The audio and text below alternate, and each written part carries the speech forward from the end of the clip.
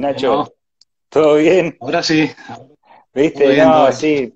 La de problemas que he pasado por estas charlas de café con las conexiones de internet no te puedo explicar. ¿Viste? eh, Se supone que también. el wifi acá, pero... ¿Viste? A mí también me pasa lo mismo y dije, bueno, ya fue. Eh, ahora uso 4G directamente y va todo mucho más rápido. Bueno, ah, Nacho, ¿cómo te presento? A ver, eh, a ver. Bueno, de chiquito que, que, te conocí a vos y a tu familia, este, y, y me, a mí me ha llamado mucho la atención una vuelta en el año 2008, más o menos, que fue cuando eh, yo me meto en el, en el museo junto con mi papá para poder armar todo lo que era la parte web del museo, habíamos hecho una especie de recorrido virtual y qué sé yo, y cuando, nada, entro a subir las escaleras, qué sé yo, y entro a ver fotos de pájaros que eran increíbles. Y veo Ignacio Hernández. Déjame de joder, no lo podía creer, digo. Y este, y bueno, fue así que con, bueno, mi papá, viste que se había metido con aves de la Patagonia.com.ar, el sitio web al cual yo le, había ayudado también. Y este y ahí creo que habíamos tenido alguna colaboración con mi papá también que habías tenido, me parece. Sí, a tu papá este, lo, conocimos ahí en el museo con Jaime Prieto. Este, fuimos, estuvimos un par de veces con él incluso, eh, y él nos ofreció llevar algunas fotos para, para, ponerlas ahí en el museo, así que él, bueno, y Pablo y los chicos que están ahí en el museo, ¿no? También. Así que en su momento me acuerdo que llevamos eh, las fotografías esas, las imprimimos y llevamos y quedaron pegadas ahí, sí, sí, quedaron. Creo que hasta el día de hoy, no sé, habría que preguntarle a Pablito, pero creo que hasta el día de hoy están. Pero seguramente están ahí bien cuidadas y atesoradas, créeme, porque la verdad que eran fenomenales esas, esas, esas fotos. Escúchame, Nacho, bueno, sí. ¿cómo es que arrancás vos con, con el tema de la fotografía? O sea, ¿qué es lo que estudiaste? Digamos, ¿cómo fue que te, te picó el bichito este de empezar a hacer esto? Está bien. Eh, estudiar no estudié, digamos, no tengo, no tengo ningún estudio de fotografía específicamente, de otras cosas tampoco. Eh, pero me picó el bichito fue en el año 2007, por ahí. A mí siempre me gustó la naturaleza, siempre andaba, andaba con los bichos, digamos, siempre me gustaba salir al campo. Y la fotografía me, digamos, empecé porque me entusiasmé, me acuerdo, había uno de esos foros que eran por mail antes, estoy hablando en esa época. Eh, sí, Había un foro que se llamaba Americaves, en el cual la gente compartía registros de fotografías y, se identificaban aves y todo ese tipo de cosas, ¿no? Y recuerdo que en ese momento había un tipo que era, se llamaba Luis Vargas, se llama creo todavía, de Costa Rica, Luis Vargas, ¿no? Y el grupo ese subía fotos, sí, subía fotos del patio de su casa, pero imagínate en Costa Rica los, los bichos que tenían allá, fruteros, ¿viste? Le hasta me parece de todo. Mi mamá de Costa Rica, así que imagínate. Ya, claro. ya fui un par de veces ahí y te digo que ojalá me pudiera vivir ahí, es tremendo el lugar, ese, la fauna acá es increíble. Sí, ni Y son países tropicales, ¿viste? Eso, eh, una locura. Bueno, la cuestión que ahí, viste, yo dije, uy, qué lindo, cómo me gustaría hacer fotos de esta manera. Y justo en el foro por ahí también lo que pasaba era que publicaba gente, equipos que tenía para la venta, ¿no? Claro. Y, en ese momento, Lito, también un hombre que hasta el día de hoy lo conozco, que es de Mar del Plata, eh, Lito tenía una camarita, una Sony H5 a la venta, y la publicó ahí en el foro. Entonces yo le pregunté, sin tener idea de nada, ni de fotografía, no sabía absolutamente nada. Y le pregunté, bueno, me dio el precio, me pareció correcto, la tenía bien cuidadita, una cámara compacta, digamos, de las compactas viejas, ¿no? Pero era linda camarita, era linda camarita, tenía esos hiper zoom, tenía buen alcance. Yo después le compré un adaptador que, te daba más alcance todavía de zoom. Y este, compré y ahí empecé, empecé de manera autodidacta, digamos, empecé a, buscar información y bueno, y conocí dos fotógrafos que, que por ahí teníamos en el grupo ese, nos iban despejando algunas dudas, porque empezamos, me acuerdo, medio al mismo tiempo con Jaime Prieto, que es otro amigo que empezamos a la par justo en ese momento, ¿no? Sí. Así que bueno, y ahí empezamos a hacer fotografía de, más que nada registrera, ¿no? Para registrar los bichos y, todo ese tipo de cosas. Y bueno, y después el tiempo te va llevando a que, a que vayas cambiando equipo. vaya buscando otras cosas, mejorar y vas aprendiendo, quieras o no vas aprendiendo de, otras fotos que ves, aprende mucho de lo que se ve. En ese momento me acuerdo que empezó el foro este, Fotonat, es un foro, una página que está vigente actualmente, ya tiene varios años, creo, del, del 2009, una página de Mariano Fernández, también un muchacho de La Pampa, que es biólogo y fotógrafo, eh, uno de los fotógrafos que, más me gusta a mí de acá de Argentina. Y bueno, él empezó con esa página y en esa página también uno colgaba sus fotografías y la gente te las comentaba y, te iba sacando, o, vos vas aprendiendo, quieras o no, porque vos vas viendo los efectos que van marcando, que tiene la foto. De esa manera, bueno, y después la propia búsqueda, ¿no? La, búsqueda de uno de, de, ir viendo a lo que querés aspirar, qué es lo que querés hacer con la fotografía, qué querés demostrar, qué querés retratar, y empezar a buscar fondos más limpios, y bueno, con el tiempo uno va... Y es como que indirectamente ya te empezaste a, meter, digamos, en, en, las especies, en el recorrido que hacen esas especies, todo el circuito la, que tienen, ¿no?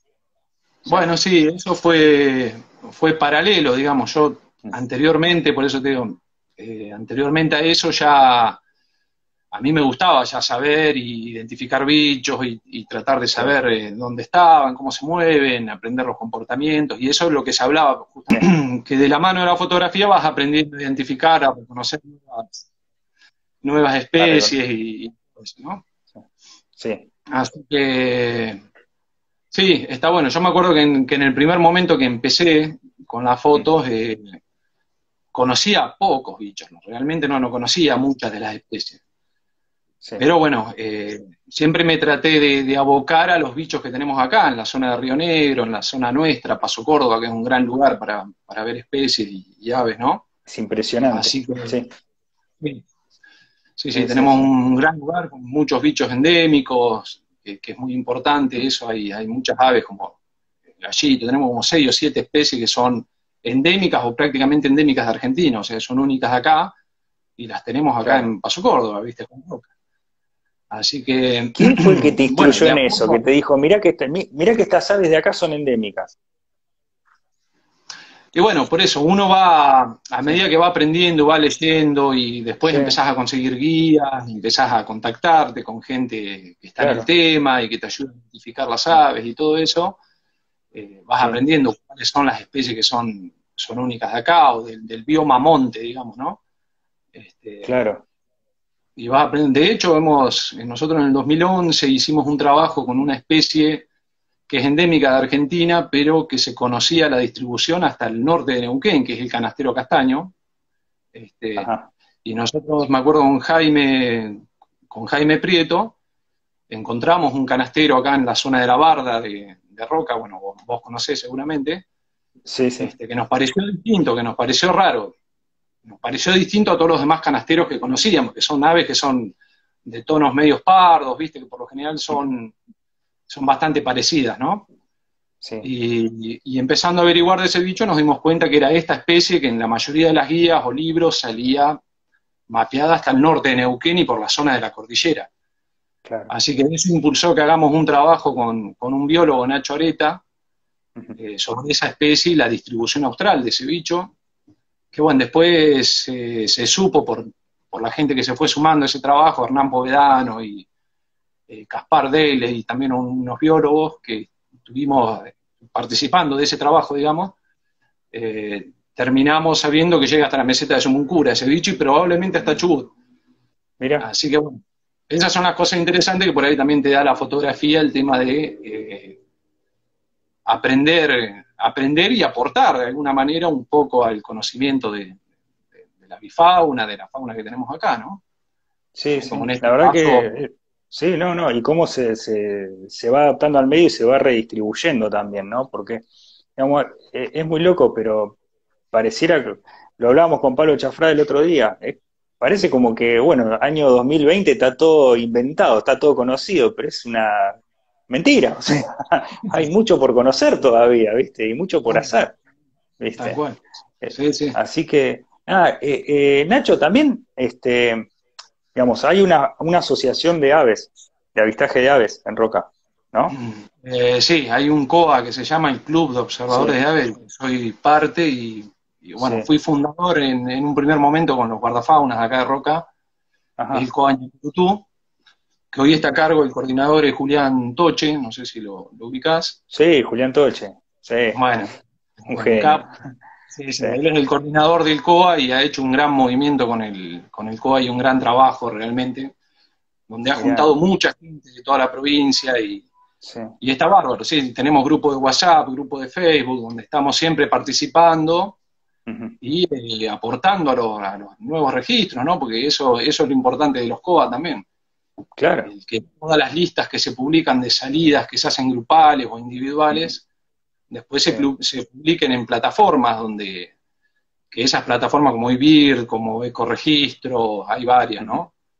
Y esas plataformas después sirven también para, aprender un poco más de, las especies, las distribuciones. También hemos encontrado recientemente bichos nuevos, una paloma que era de Perú, una torcaza, sí. que era de Perú, apareció acá en Roca, ahora resulta que crían, están por todos lados, una cosa increíble.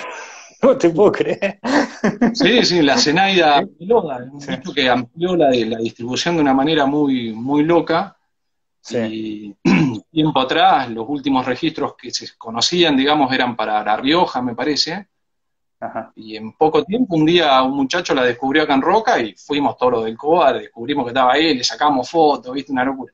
Publicamos, obviamente, todos esos registros, hizo un trabajo, una nota. Este, esas son las cosas importantes y buenas ¿no? que tiene este tipo de cosas.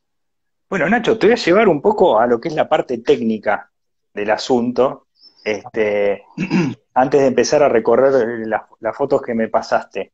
Vamos, hoy si tenés que salir a fotear, ¿sí? No sé cómo te está tratando el coronavirus ahí, ¿viste? Pero si tuviera la posibilidad de salir a fotear tranquilamente, ¿qué equipo tenés? No te escuché la última parte, perdón. si pudiera salir a fotear hoy, ¿con qué equipo salís? ¿Con qué equipo estoy fotografiando? Sí. Eh, bueno, lo que es aves, tengo una, cámara, una 5D Mark III de Canon, y tengo un lente de estos últimos que han salido, el Tamron, el 150-600. Uf, 150-600. No sé si, ¿Me escuchaste? Tengo un Tamro 150-600. Claro, exacto. Eso y tengo un, Canon viejito que, sin estabilizador, que no sé de qué año es, viejísimo, que es el caballito de batalla, que lo, me lo dejé como segundo lente porque con estos Tamron ya tuve un par de problemas. Este es el tercer lente que tengo. Sí. Así que siempre me dejo un segundo y ese, ese segundo lente me lo dejo por las dudas, ¿no? Pero. si, vos, si vos tenés que salir a fotear, ¿te vas con los dos, los dos lentes grosos encima? No, no. No, no, El 300 es un lente que, me lo dejé, es un lente que vos lo ves, es un tubo de metal ah. con vidrio adentro. Es el 300 la versión vieja, ¿no es el... Sí, sí, sí, sí. sí. Pero tiene buena nitidez, es un lente que es un cañito. Eh, digamos, para fotografía de aves, estoy fotografiando con ese. Tamron y la 5D. Después, bueno, viste que hago también fotografías reptiles y eso. También. Para lo cual. Sí, eso también lo hablamos con Pablo, viste que, digamos, vi ahí varias de, algunas lagartijitas. está muy bueno, les, estás colaborando con eso. Está, está muy bueno. Muy bueno. Sí, sí, la fotografía de reptiles, los, reptiles siempre me, gustaron a mí. Eh, lo que pasa es que, bueno, eh, fotografiarlo no es lo mismo que salir a fotografiar aves es mucho más trabajo, es otro, tiene otro tipo de técnicas, vos tenés que encontrar los bichos, mucho más difícil verlos, encontrarlos. Bueno, de hecho ahí con Pablo eh, generalmente hablamos por ese tema, porque él viste, conoce mucho de herpetología, así que estamos en contacto y siempre nos pasamos lugares para ir a ver determinados bichos, viste. Así que está, está bueno. y sí, ahí necesitas necesitas otro tipo de equipo, digamos un lente macro. Yo estaba intentando hacer fotografía de, eh, digamos, la, idea mía era originalmente tratar de retratar todos los bichos de la provincia, que son un montón igual, eh, de tres maneras distintas, ¿no? con un lente macro, como para ver detalles del, bicho. Eh, generalmente lagartijas, bueno, también he fotografiado casi todas las culebras y víboras que tenemos acá en la zona. Em, y después en un fondo blanco, que es sobre una plancha blanca, como para que se vea únicamente el animal, y eh, tratar de hacer una fotografía donde se pueda incluir el ambiente, el paisaje. Esas son las tres formas que me puse en meta, pero eh, es algo que me va a llevar tiempo, debo llevar ni, la mitad de las especies que tenemos en la provincia. Es un trabajo. Pero te digo que están quedando e, e, esas fotografías donde, donde capturás la especie y todo el paisaje de, de, donde habita, es increíble. O sea, te transporta al ah, lugar. está bueno, porque.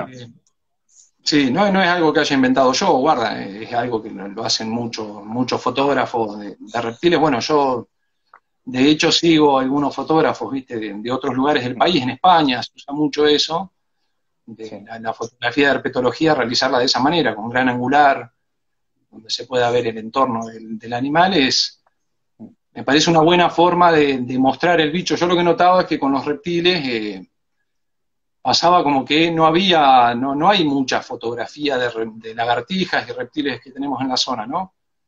Y a mí, al ser algo que me, que me gustaba mucho, siempre me gustaron los, reptiles, dije, bueno, voy a tratar de meterle un poco de, trabajo y dedicación a, ellos, ¿no? Así que, pero es un trabajo engorroso y difícil, no es lo mismo salir a fotografiar aves, donde por ahí eh, es, más sencillo de alguna manera, porque las, las aves se muestran más, están más expuestas, uno va y Generalmente te cruzás, algún bicho te vas a cruzar, ¿no? Es que las lagartijas, por lo general, vos tenés que ir a buscarlas a, lugares específicos porque tienen mucho endemismo, ¿no? O sea, son, son bichos que por ahí viven en lugares muy acotados o, en zonas muy, muy chicas, ¿no? Han tenido una evolución muy, muy diferenciada y hay muchas especies que por ahí se han adaptado a vivir en lugares muy pequeños, ¿no?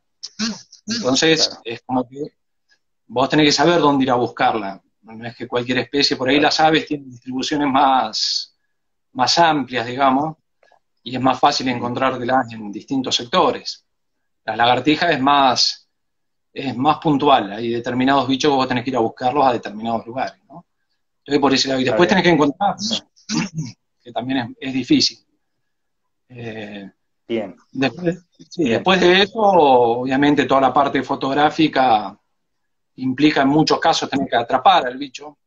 En el caso de las lagartijas, para el tipo de foto que quiero hacerle yo, yo las atrapo en, el lugar y las libero en el lugar. O sea, les hago las fotos y las esa es mi manera de, fotografiarla, porque mi interés es tratar de dejarlas eh, retratadas de esta manera que te explicaba antes, ¿no? Con el fondo blanco, con paisaje y con lente macro. Y bueno, lo que te comentaba por ahí con respecto a las lagartijas es que por lo general los biólogos cuando hacen herpetólogos que hacen trabajos de campo no se dedican al tema de la fotografía de ellos, ¿no? Porque obviamente están abocados a otras cosas. Entonces, eh, es como que yo notaba que falta, falta esa parte. Falta registro visual, digamos, de. Falta registro visual de, los animales. Las las, especies que tenemos de la manera que, que creo que corresponde y que se merecen, ¿no? Porque son bichos hermosos y, bichos hermosos, interesantes, con mucho endemismo. Eh, es algo que falta, creo que falta un poco retratarlo de mejor manera, ¿no? Acá en Argentina por lo menos veo eso. Yo, yo soy un fotógrafo australiano que, hace ese tipo de fotos, por ejemplo. El tipo tiene fotografiado todas las especies del país, de Australia, de una manera espectacular. Y le da otro estatus al bicho, ¿no? Lo, levantas. Igual le, le metes una foto como se como corresponde, digamos, donde se aprecie bien el bicho, se aprecie el entorno. Eh, me parece que es una manera de darle un poco de reconocimiento a las especies, a la herpetología de la provincia, por lo menos en mi caso, sí. que ahí le falta, le faltaría un poco, ¿no? Sí, ya, mismo decía Pablo, viste, encontraron varias especies también, eh, que las están estudiando y todo, la verdad que es, eh, es muy lindo el laburo que están haciendo la verdad. Este, siguiendo, siguiendo con lo técnico, o sea, ponele, le sacás un par de fotos al ave, llegás a tu casa y ¿qué haces? ¿Editas las fotos? Eh, sí, sí, generalmente hago una. Uno con el tiempo, bueno, yo me he ido volviendo un poco más exigente conmigo mismo, ¿no? Mm. Eh, y lo hablamos por ahí con, con los muchachos con los que salimos. Yo tengo un grupo de fotografía que son mis amigos que son muy choluros y querían que les mande un saludo, así que les voy a mandar un saludo por acá. Adelante. Son Axel, Paul y Alejandro, son ah, tres amigos de hierro que tenemos, Alejandro Carnevale, Paul González, que seguro lo conocés. Sí, a Paul lo conozco, sí. me llamó la atención. Hoy, recibo un mensaje de Paul y digo, Paul, no puede ser, compañero de secundario, o sea, fue, tenía un año más que yo, ¿viste? Ah, no me podía creer. Y ahora, ah. y ahora está metido con el tema de la fotografía y las aves. Nada, un fenómeno. fenómeno. También, sí, sí. Bueno, con Paul y los chicos hacemos, hacemos muchas salidas y, proyectamos muchas salidas, y bueno, y la mayoría las cumplimos, la mayoría quedan en los asados nada más, así que la mayoría las cumplimos. Por nosotros viajaríamos a todos lados, pero bueno, se hace lo que se puede. Se hace lo que se puede. Bueno, pero entonces, digamos, tratás de cocinar lo que vendría a ser la fotografía ahí en vivo. Sí, lo posible sí, sí, sí. Sí, pero digamos, ponerle que... La foto en el campo y, y mucho menos, obviamente, la, edición después. O sea, tratar de lograr el, ave enfocada, con un fondo limpio, bien perchada. Eh, después el trabajo, digamos, de edición mío es muy básico, ¿no? Suelo editar lo que es niveles, contraste, saturación, porque saco fotos en RAW. Bien. ¿Y lo haces con el cámara RAW, digamos? Hago con el cámara RAW y el, y el Photoshop después termino de, editar la, foto. Pero bueno, la, exposición y obviamente eso se, se, tiene que lograr en el campo. Sí. Y después, bueno, para lograr la buena foto en el campo hay un montón de técnicas de acercamiento, usamos el, que se conoce. El hidrohigh. Ay, el famoso. te digo que cuando te vaya a visitar vamos a hacer una salida con eso. ¿eh? es espectacular, el hidrohigh, eh, mm. bueno, nos ha hecho disfrutar montones de momentos y, tenés una intimidad con las aves que no la tenés de otra manera, ¿eh? porque vos estás metido en una laguna, en un lugar, con el ave ahí, vos escondido dentro de un botecito con la cámara de fotos y, te pasan los bichos por al lado, ¿viste? Una cosa increíble. Qué bueno eso, qué bueno ah. eso. Muy loco, muy loco. no, eso lo tenés si querés venir acá, te vamos a llevar, nosotros tenemos los, equipos, tenemos todo, digamos, el, equipo es una plancha de tergopol, el hidro high consiste en una plancha de tergopol con una tela camuflada que vos te metés adentro, y básicamente es ir nadando con la cámara o pataleando o apoyándote en el fondo, según la profundidad que tenga el lugar, ¿no? Sí. Y, acercándote a, a, las aves de esa manera. Y después, bueno, un traje de neopren para, porque a veces estás metido tres horas en el agua y llega un momento que... morís, sí, sí, sí. Así sea verano, después de tres horas con traje, neopren y todo, entran a tiritar los dientes, no sabes lo que nos ha pasado varias veces. Tenemos varias historias. Con el Hydro o sea, no perdieron ningún equipo, ¿no? Con el Hydro ya está certificado. No, perder no, pero a mí se me ha mojado la cámara, ¿eh? se me ha mojado más de una vez, se te moja el lente. una vez se me metió agua en la batería, se me apagó la cámara, estamos, me acuerdo con los chicos ahí justo fotografiando eh, unas gallinetas, creo que era, y, se me inclinó el hidrojai y se me metió agua dentro del, compartimiento de la batería, ¿viste? Sí. Así que la cámara, ¿viste? Que se, se me apagó en el momento así que tuve que sacar batería, todo, dejar secar. No, después por suerte no, no pasó nada, no fue más que eso. Ah, bueno. Pero sí tiene, tiene sus riesgos, sí. Este, y después, bueno, te tenés que bancar la picadura de los mosquitos, tábano, eh, piojo de pato, ¿viste? Pero bueno, tomando las precauciones. Sí, a ver, claro, no, no, son fotografías convencionales. Es, ese es el tema, ¿viste? Uno, te, das cuenta de la buena foto, o sea, atrás de esa foto hay un sacrificio, seguro. Sí, sí, sí. Sin duda. Sí, sí, eso es algo que hablamos siempre con, también con, los chicos, que eh, la buena foto es la que tiene su trabajo detrás y su sacrificio, me parece. La buena foto que puede llegar a considerar uno, capaz para, para los demás no, no, puede llegar a lo mismo, ¿no? Pero eh, sí, tiene, un sacrificio enorme y un trabajo enorme en algunos casos. También trabajamos mucho con el tema de los, de los comederos, viste, que eso también lleva si armás un comedero para aves, viste, lo tenés que mantener, tiene que, ser de manera responsable, digamos, ¿no? Sí. Este, y también funciona, de hecho, yo acá en el patio de casa tengo un comedero y se acercan aves todos los días, ¿eh? aparecen montones de especies acá en el patio de casa, ¿eh? Y bueno, con esto de la cuarentena lo mantengo activo, por ejemplo, y cuando estoy aburrido y quiero sacar alguna foto, siempre algún pajarito aparece.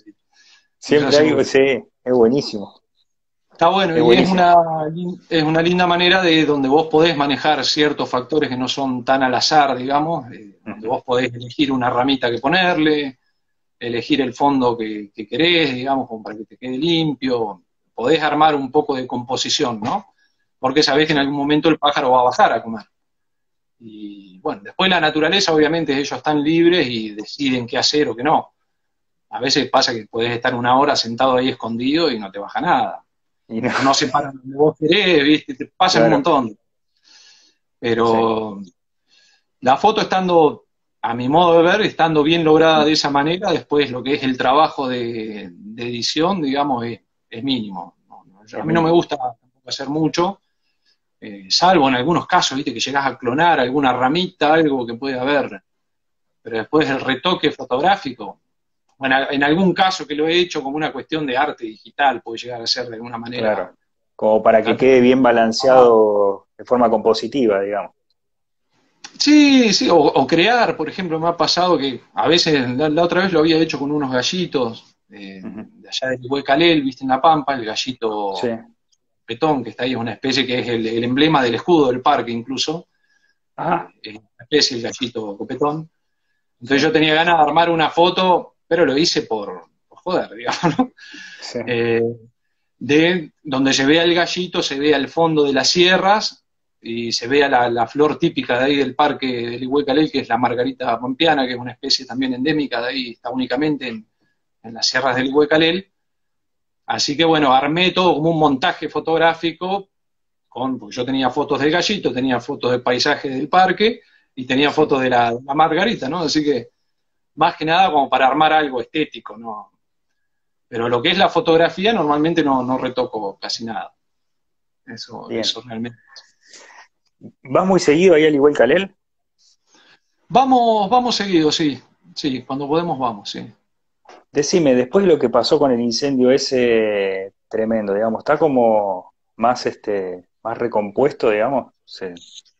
Eh, sí, no es el primer incendio que hay, ¿eh? han habido muchos, algunos son incluso eh, producidos adrede por los mismos guardaparques. ¿eh? Son incendios controlados que hacen para renovar la vegetación. Y la naturaleza sigue su curso y, brota. ¿no? Te da pena por ahí ver cuando se pierden árboles que por ahí son años, viejos, ¿no? Caldenes. Caldenes que son también endémicos de ahí, o sea, ¿no?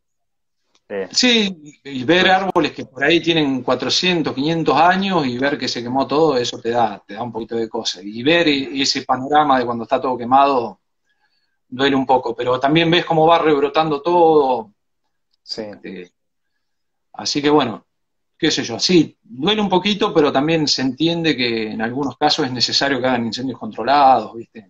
Claro, como para que equilibrar un poco la, sí. la fauna.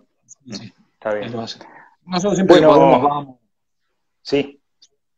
No, que podemos, siempre vamos, digo, a, a, hacer fotos ahí y, bueno, nos comemos algún asadito y disfrutamos el estar también, ¿no?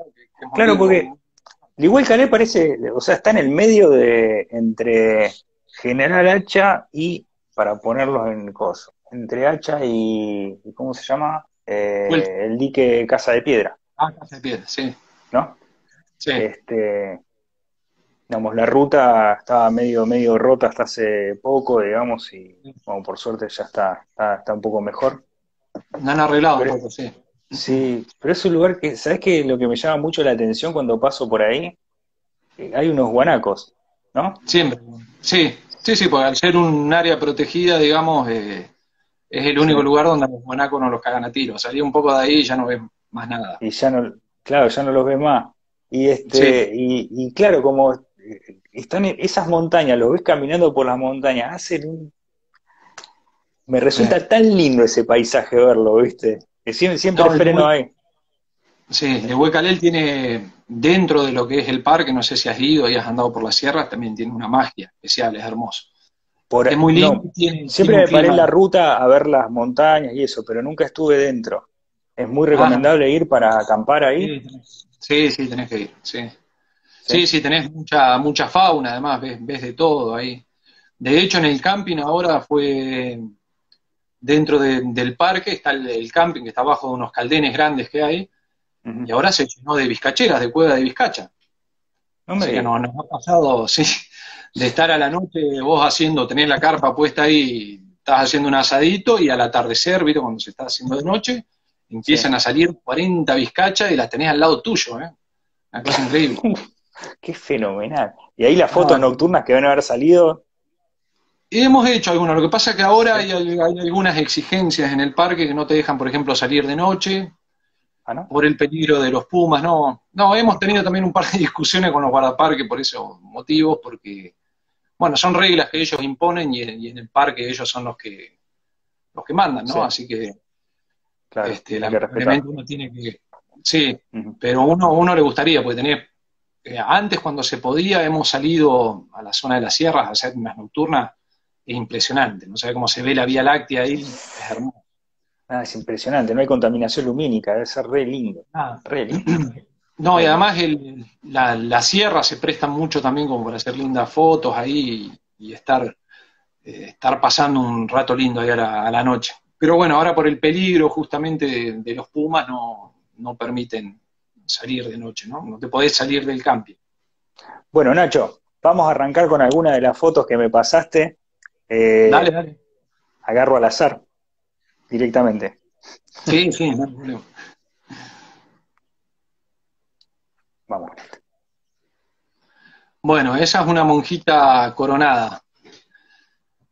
Esa foto la hice ahora en diciembre del 2019, digamos, y esta foto tiene una linda historia porque esa es una especie que yo vengo queriendo fotografiar más o menos de que empecé a sacar fotos, ¿no? Y acá no es muy común ese bicho, es bastante difícil de, ver y de fotografiar, ¿no? Tiene un comportamiento bastante desconfiado, eh, no, no, se suelen ver muchas, ¿no? Así que tenía algunas fotos hechas hace mucho tiempo de ese bichito, pero unas fotos muy de lejos, eh, con un fondo de cielo. Así que bueno, eh, es una foto que para mí es bastante emblemática, porque decís, hay dentro de la fotografía de, aves y de naturaleza tenés que tener mucha paciencia, ¿no? Mirá cómo será la paciencia que tuve yo, que la, esperé 13 años hasta lograr una foto como me gustaba. Así que eh, tiene, digamos, bastante sentido para mí, importancia para mí por ese motivo, porque es un bichito que realmente lo, lo esperé mucho tiempo. Yo dije, en algún momento se va a dar, y se me dio, por eh, justamente Julián Toche, que hablábamos antes, eh, había encontrado un nido en un lugar, casualmente, de casualidad, en un viaje que hizo. Me dijo, Nacho, encontré un nido monjita coronada. Fuimos al otro día, me invitó, fuimos los dos y nos paramos ahí, obviamente sin interferir en el nido, ya tenía los pichones grandes, ya eran tres pichones que estaban a punto de salir del nido. Así que nos paramos ahí unos metros y nos quedamos esperando a que vengan a alimentar a los pichones. Así que ahí logramos esas fotos con un buen acercamiento, buen fondo. La verdad que quedé muy, muy contento y bueno, y es emblemática para mí por eso que te digo, porque la esperé mucho tiempo esa foto, ese bicho, esa especie, la esperé mucho tiempo, 13 años, desde que empecé a sacar. O sea, el, avistaje de aves está, está catalogado con, distintos niveles, ¿no? De posibilidades de encontrar un ave. Esa sí, especie. Sí, tal cual. Hay bichos que son mucho más raros de, de ver que otros, ¿no? Este, este, está, este cumple con esa condición de que es uno de los más raros. Y por lo menos acá, porque por ahí esa especie es más común en la zona costera, de las grutas, en Río Negro, hay zonas donde es más fácil de ver, ¿no? Y donde eh, ese bichito hace una migración, ¿no? Se va, en, invierno se va de acá. Eh, pero en, esta zona, en Roca, eh, hay solamente un, donde yo la he visto generalmente, bueno, es en la zona de Paso Córdoba y para el lado de la línea sur. Claro no se ven muchas, es muy, muy poco, muy poco lo que se ve, y es bastante, bastante rara acá. Entonces, bueno, acá nunca, las pocas veces que me la había cruzado, no, no había logrado buenas fotos, realmente no. Así que bueno. Vamos por otra. Dale. Bueno, esa foto es una, es una pollona pintada, se llama, que está con una larva de una, la voy a hacer. en el pico, ¿no?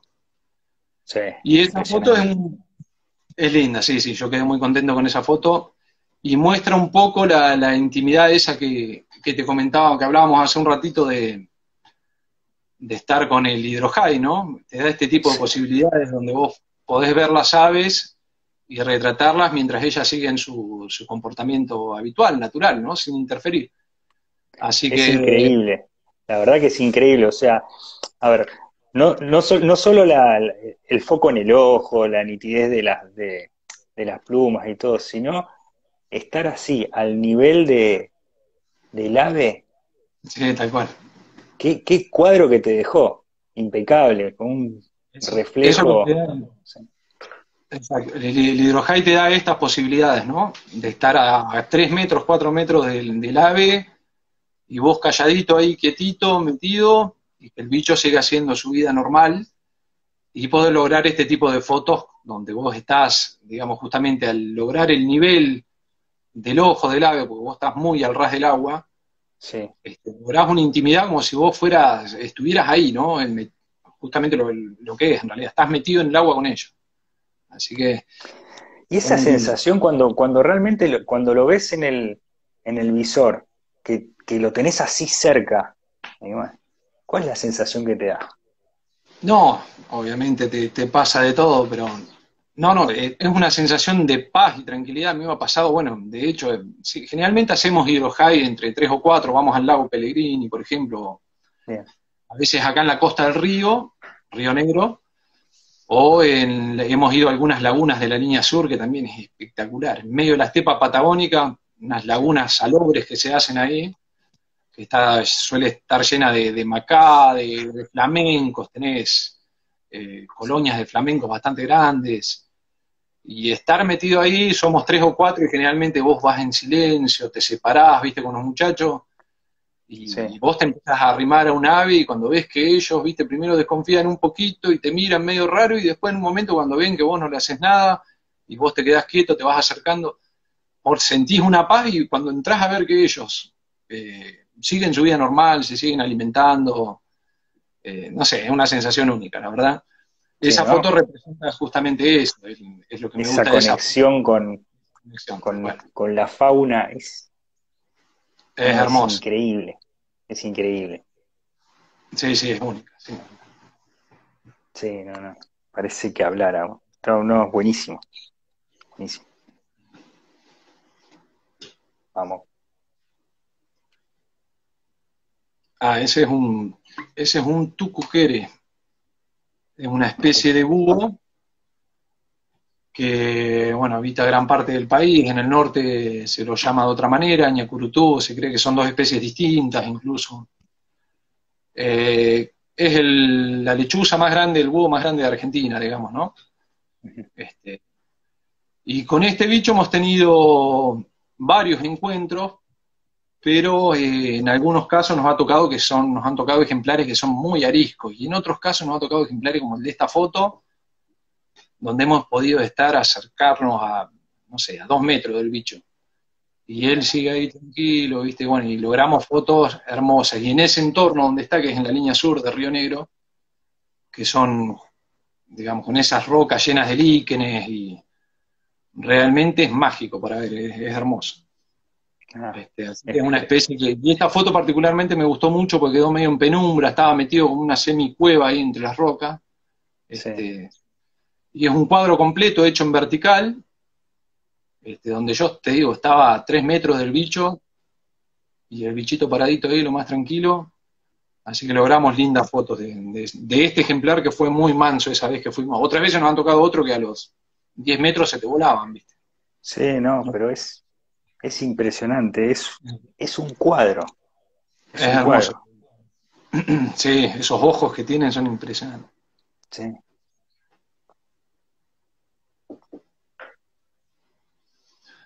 Bueno, el gallito arena.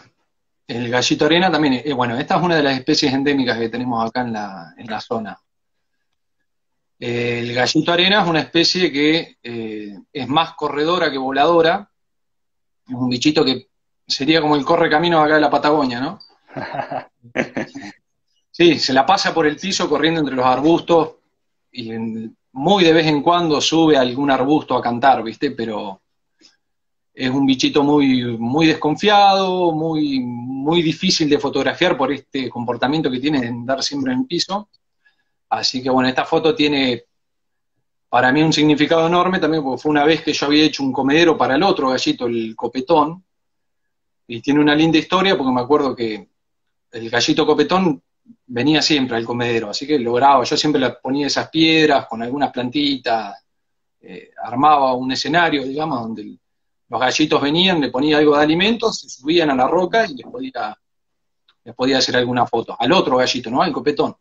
Sí. Y un día estaba sacándole fotos al gallito este, al copetón, y ya cuando había caído el sol, viste, las últimas luces del día, eh, estaba solo, yo me acuerdo en ese momento, estaba sentado tapado con una tela escondido. Cuando me estaba por ir, estaba por levantar todo e irme ya a mi casa, porque ya tengo el sol prácticamente se había escondido en el horizonte, ¿viste? Ya no tenía luz. Miro así para un costado a mi derecha y entre la tela veo que venía este gallito caminando, pero a medio metro mío, ¿eh? Me separó al lado mío, miró, estuvo dos segundos y se empezó a ir para el lado del comedero, ¿viste? Sí. El comedero lo tendría delante mío a unos 3, 4 metros. Yo me quedé petrificado, ¿viste? Estaba ahí. Y en un momento anduvo por abajo del comedero, dio un par de vueltas y se subió a la roca, cosa que yo no esperaba nunca, porque no sé a qué subió porque ya no tenía ni comida, creo nada. Se subió a la roca, le metí tres fotos así, ya te digo, con las últimas luces, creo que alcancé a configurar la cámara, ponerle, subirle liso, no me acuerdo, porque tenía una luz muy tenue ya.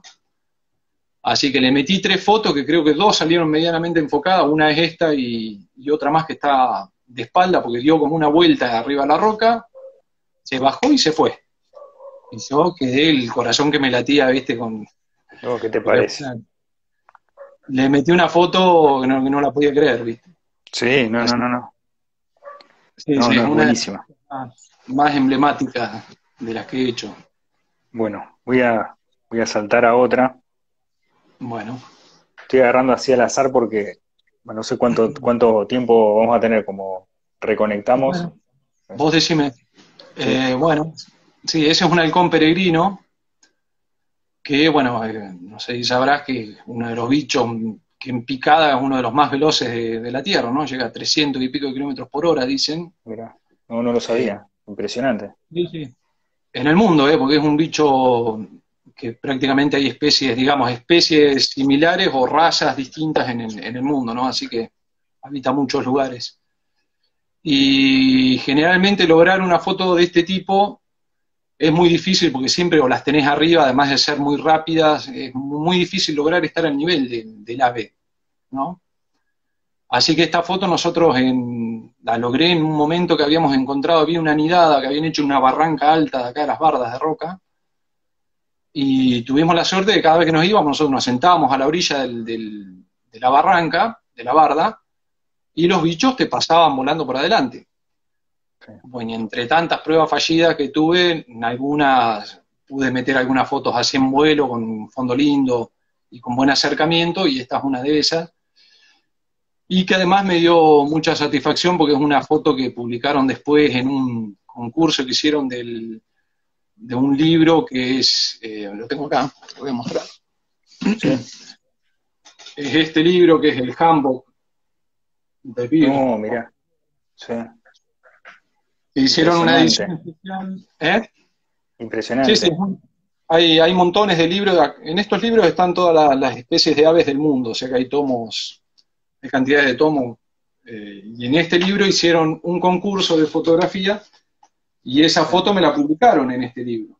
Entonces, porque salí, digamos, beneficiado con esa, así que para mí tiene una importancia enorme que ahí está la foto. Ah, mirá lo que es, sí, sí, sí, caño.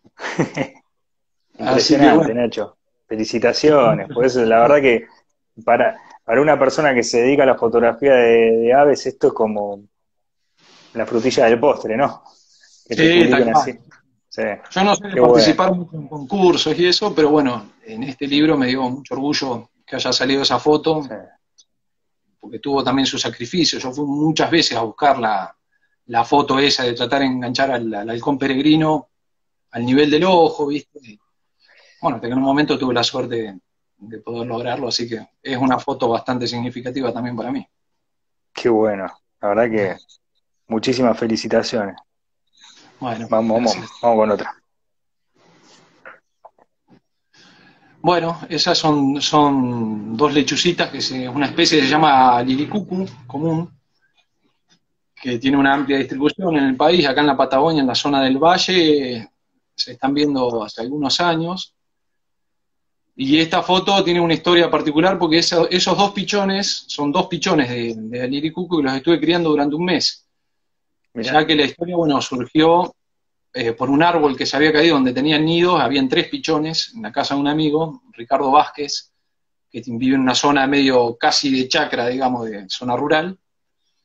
Y se cayó el nido, rescatamos los pichones que ya estaban, eran chiquitos todavía, pero estaban recién empezando a emplumar los pusimos en una caja nido, colgamos la caja nido en otro árbol a ver si los padres los seguían alimentando, estuvimos controlándolos un par de días y aparentemente los padres no, los criaron más porque al segundo día que fuimos a controlar uno de los pichones estaba muerto y, estos dos que habían quedado estaban con muy flacos, ¿no? Con la quilla del esternón muy, muy asomada, o sea, evidentemente los padres no les estaban dando de comer. Así que no nos quedó otra que agarrarlos y me los traje a casa y los empecé a criar a mano. Me, puse a investigar qué, se les podía dar de comer. Así que los estuve, le hice una cría de garage, digamos, los estuve criando durante un mes. Y bueno, y se criaron de manera espectacular eh, hasta que empezaron a hacer sus primeras prácticas de vuelo. Así ¿Qué que le tenía... de comer? Y estuve investigando bastante porque eh, normalmente uno lo que le daría, uno cree que esto, esas lechucitas comen nada más que carne. O no, eh, son lechuzas que se alimentan mucho de insectos, eh, también comen carne, obviamente, roedores y ratones. Pero, puede ser de que la madre no le da el alimento ya procesado. No, por lo general, en el caso de las lechuzas no, o las los padres cazan los insectos o una laucha, todo, y se lo dan por lo general ah, enteros. ¿eh? Enteros, ah. Sí. Eh, así que yo, el tema era que si vos le das carne solo, yo lo que había investigado un poco, eh, se descalcifican los bichos, ¿no? Cuando vos lo tratás de criar a mano. vos tenés que tratar de suplementar la dieta con eh, algún tipo de alimentación que le incluya hasta los huesos incluso, ¿no? Entonces yo empecé a comprar rancho de pollo, viste el rancho de pollo que, tiene hueso, lo cortaba muy picadito y les daba eso, después les daba el bicho que cazaba acá por mi casa, se los daba, gusanos de la harina. Los alimenté así durante un mes. Y el último día, en esa foto se puede ver que la lechucita de la derecha tiene una laucha, un ratón. Para, no me di cuenta. claro exacto. Eh, un día dije ya cuando estaban grandecitas y empezaron a hacer sus primeros vuelos, como estaban acá, ya volaban por todo el garage en este caso, eh, dije, les voy a tratar de hacer unas fotos, así que armé todo un set con los flashes. Esto lo hice en el garage de mi casa, ¿eh? Sí, y había atrapado una lauchita con una trampita que tenía en un galpón que tengo acá en el fondo de casa. Y justamente la había puesto para ver si podía atrapar una laucha para dárselas de comer a ellos. Sí. Así que bueno, ahí fue el momento que les di la lauchita y fue todo un espectáculo bastante sangriento, pero bueno, así que fue como la prueba final de que los bichos ya estaban eh, adaptados para irse. Claro, tal cual. Y ahí fue que nos reunimos eh, con la gente del COE, hicimos la liberación en la misma casa de Ricardo, donde, lo, donde se había caído el nido. Sí. Eh, que fue creo que a la, semana o a las dos semanas de, de esta foto. Y bueno, las liberamos y Ricardo los estuvo controlando, los vio hasta como un mes después, ya los vio alimentarse solos incluso, y después los dejamos de ver. Pero se supone que siguieron su vida normal, así que... Seguramente.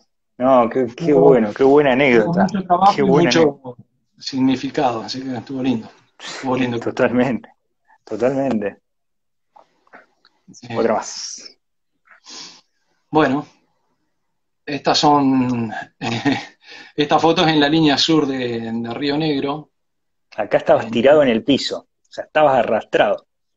Mira, eh, donde están parados, vos fijate donde están parados los patos, eso es hielo congelado. Es una laguna congelada y yo estaba acostado en el hielo, prácticamente. Claro. Había una capa de hielo tan gruesa que me aguantaba el peso mío tirado encima con la cámara acostado. Y los patos están parados en el hielo.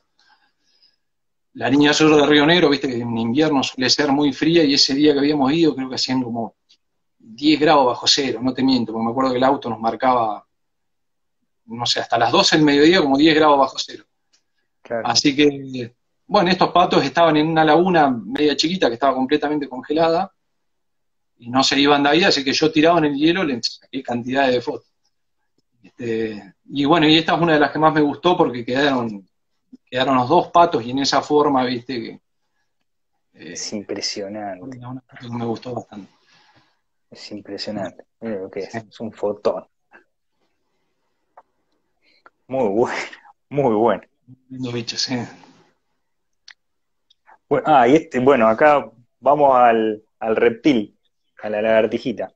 Bueno, sí, esta foto te la pasé porque justamente eh, cuenta un poco la parte de la historia donde yo empiezo a sacar fotos de lagartijas, ¿no? Las fotos que comentábamos antes de... la lagartija con el paisaje con el medio. Con ambiente, claro, con el paisaje es el tipo de foto. Este es un bichito endémico de la zona de, la línea sur de Río Negro, este, que es único de ahí, vive nada más que en unos roqueríos que están en la zona del, del Cuy, en el departamento del Cuy.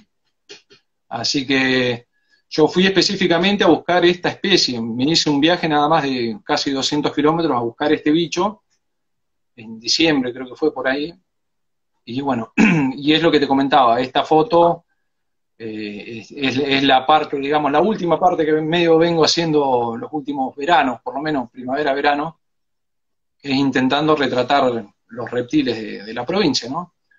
Así que normalmente me, hago algún viaje específicamente a buscar determinado bichito, ¿no? Y tratar de hacer este tipo de fotos donde se vea dónde viven. Ah, una locura. No, no, está muy, está muy bueno, porque tenés que lograr la composición con el fondo y encima el reptil se mueve constantemente. Estos reptiles, particularmente los fimaturus, no son, son bichos bastante tranquilos. Eh, y por lo general lo que son las lagartijas de, rocas o, reptiles de roca como estos, suelen exponerse más porque se, se, paran en las rocas a solearse, ¿no? Así que suele ser más fácil fotografiar que otro tipo de reptil que anda en arenales o en arbustales donde se esconden abajo los arbustos espinudos, viste que eh, es imposible meter una foto ahí, salvo que lo tengas que atrapar al reptil, sacarlo a un lugar más despejado, hacer la foto y volver a soltarlo, ¿no? Sí, la vuelvo, la vuelvo a mostrar la foto porque la verdad es increíble. Pero estos bichitos viven en esos roqueríos, son este grupo, esta familia de reptiles son los fimaturos viven en grupos familiares, en, las grietas, ellos están asomados, asoleándose generalmente, y se esconden en las grietas que suelen haber entre las rocas, ¿no? Y a veces es muy gracioso verlos porque vas a ver al macho, la hembra y las crías. Es uno de los pocos reptiles que se lo ve así en grupos familiares, digamos, no son tan solitarios. Son muy lindos, muy lindos y muy, muy tranquilos, muy, muy interesantes. Qué lindo. Qué lindo esto. Me encanta, me encanta. Y bueno, vamos a la, a la última fotito. Dale. Bueno, ese es un jilguero, jilguero grande, que esa foto la hice en, eh, creo que fue en noviembre, diciembre de este pasado, en la zona de, llegando a Primeros Pinos, no sé si sí, debes conocer para aquel lado. tengo una gana de volver que impresionante, ¿no? bueno, es Zapala, en, muy lindo lugar. Zapala y Primeros Pinos. Eh, ahí, logré encontrar esta especie. Y en realidad esta especie no es tanto por el, por el ave fotografiada, sino por ese viaje. Ese viaje lo hice solo también. Eh, había conseguido un amigo, bueno, Alejandro me había conseguido eh, una cabaña gratis y a mí me quedaba una semana de vacaciones y dije, bueno, me voy a tomar un par de días para intentar ir a fotografiar algunos de los reptiles de, esa zona, ¿no? Mi interés era ese principalmente. Pero me fui tres días a, a Zapala, anduve por Laguna Blanca y bueno, traté de llegar hasta Primeros Pinos y me tocó los tres días de un viento impresionante, que no, no, no podías estar parado. Así que Digamos que no es una zona de caribeña. No, bueno, acá en la Patagonia siempre tenés viento, pero me acuerdo que esa vez llegué a primeros pinos, no te podía ni bajar del auto, trataba de abrir la puerta del auto y te volaba el viento. Te volaba el viento, Así que encontré un par volviendo, porque llegué a primeros pinos, me tuve que volver. Y cuando venía volviendo lagartija, el movimiento de lagartija fue malísimo, o sea, no andaba, no andaban lagartijas, se veía con tanto viento, los, bichos no, no, salían. Eh, llegué hasta un lugar donde había una pared de rocas bastante alta y ahí tenía un poco de reparo del viento. Así que paré el auto ahí, me puse a ver lo que andaba y vi que andaban estos, estos bichitos y pude lograr lindas fotos de, de este bicho, que son hermosos además, ¿no? El jiquero grande es un bichito muy lindo. Muy, muy bueno. estuvo bueno, pero bueno, es un poco eh, que cuenta la historia de ese viaje, ¿no? Que tuve tres días allá y me traje bastante pocas fotos, no pude hacer mucho, mucho menos de lo que esperaban, más de lagartijas, ¿no? Pero bueno, entre ellas esta especie. Nacho, la verdad que un placer enorme a ver, lo que sabes de aves y lo de coso es increíble, es increíble. Así que nada, ya te digo, cuando esté por allá, por Roca, espero sea para fin de año, este, ahí nada, asado de por medio, nos vamos en el hidrojay a, a sacarle fotos a, a los pájaros. Como nos están invitados desde ya con los chicos, no sabés, los asados, acá tenemos eh, algunos que son medio gourmet, así que si uh. no es asado, cocinan unas cosas medias raras, te va a caer culo. cuando quieras, venite, y programamos alguna salida. Siempre acá algún lugar tenemos para ir a hacer hidrojai o al lago Pellegrini, es un lugar muy lindo también para ir, y meterse con los Acá mismo en la costa del río, algunas lagunas que tenemos entre chacras, ¿viste? Hay lugares para ir, así que estás invitado desde ya. Ah, otra cosa, vos, digamos, también organizás estos recorridos, o sea, para fotógrafos que quieran ir por, específicamente a, a sacar fotos de aves? ¿Organizás eh, recorridos eh, fotográficos o no? No, puedo llegar a acompañar a alguien ocasionalmente. Lo que pasa es que yo trabajo, yo trabajo de algo y nada que ver con, la fotografía. Y mi trabajo me demanda bastante tiempo. O sea, yo trabajo de lunes hasta sábado, prácticamente mediodía. Así que realmente no dispongo de mucho tiempo. Tengo sábado a la tarde o domingo para. Normalmente una, las salidas que programamos son un domingo, eh, o cuando hay algún feriado, viste, tratar de enganchar algún feriado. Pero no, por, eso te digo, ha venido un montón de gente acá y los hemos llevado, hemos, recibido montones de visitas y con gusto los llevamos a cualquier lado, pero no. Sí, pues ya te digo, o sea, eh, tu nombre suena por todos lados, te digo. ¿eh? Sí, pero no, no porque me dedique a llevar gente, porque realmente Sí, en el tiempo lo había con gusto, ¿eh? una época, un, bueno, un año que estuve, me acuerdo, creo que fue en 2012, que estuve sin trabajo ese año, me puse a dar un par de talleres y vino gente de Córdoba, gente de Buenos Aires, este, íbamos, yo tenía un comedero hecho al cual eh, lo llevé y se llevaron linda foto, la pasamos re lindo con la gente, así que, este, y con los muchachos siempre, alguien viene acá y lo estamos acompañando, con gusto, siempre nos llevamos a cualquier lado, no hay ningún problema por eso. Como qué grande, Nacho, la verdad. Bueno, de corazón, un honor viejo. Y este. Bueno, nos estamos viendo. Vale, cuando quiera, con gusto. Bueno, un abrazo enorme y gracias por haber compartido esta charla. Vale, Nino. Gracias, un abrazo.